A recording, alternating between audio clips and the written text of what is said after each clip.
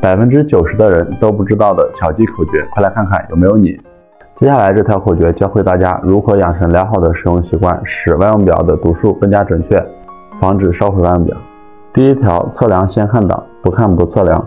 这里呢是准备测量时需要再核对一下测量的类别以及量程的选择，开关是否对应位置。如果说我们的测量值过大而选择的档位过小，则可能导致我们的一个档位烧坏。第二条，测量不拨档，测完拨空档。首先，如果说我们在测电压时，我们先把它拨到电压档。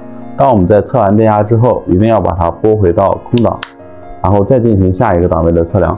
如果说我们在测量电压时，然后将它的档位打到其他的档位上，那么则可能导致这个通道一个损坏。第三条，表盘应水平，读数要对正。这里呢指的是我们的一个指针式万用表。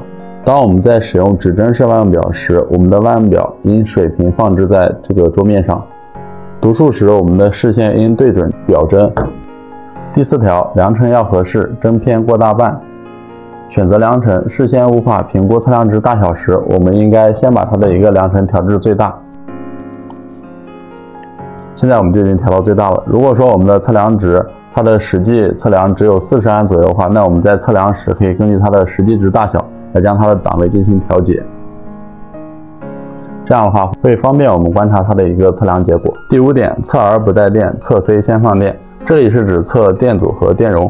当我们测电阻时，直接将它的表笔接到它的一个电阻两端就可以测。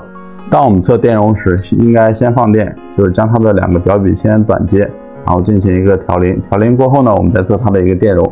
这样的话会防止它的一个测量值误差会比较偏大。第六条，测 R 先调零，换挡去调零。当我们在测试电阻之前呢，我们应该先将万用表进行一个调零，调零过后，我们再测量它的一个电阻。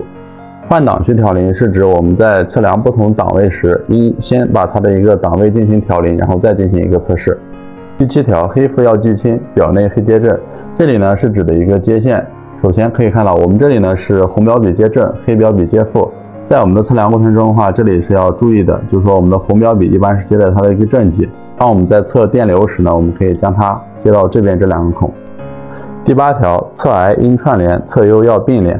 这里呢是指当我们在测电流时，我们需要将这个万用表在电路中进行一个串联，也就是把我们的万用表当成一个导线的形式来将它串联起来。当我们在测电压时呢，我们需要将万用表与我们的电路进行并联，也就是说将它的呃，正负表笔两端与我们的电路正负极来进行连接。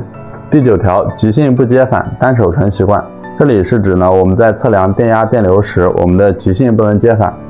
如果说我们的正负极性接反呢，则可能导致我们的万用表烧毁。单手成习惯，这里呢是指我们一定要单手操作，这里呢是为了我们的一个安全考虑。本期视频到此结束，我们下期再见。了解更多，点击关注。